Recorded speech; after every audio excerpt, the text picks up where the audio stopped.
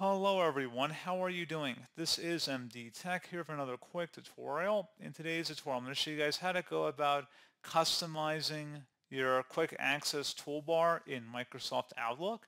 So this should hopefully be a pretty straightforward process here guys. And without further ado, let's go ahead and jump right into it. So all you have to do is select the File tab, and then you want to go down and select Options. Now on the left side, you want to select the Quick Access Toolbar. And now you can go ahead and make any modifications or additions to the quick access toolbar you want just by selecting them on this left list here and then selecting the add option to then add them to the quick access toolbar.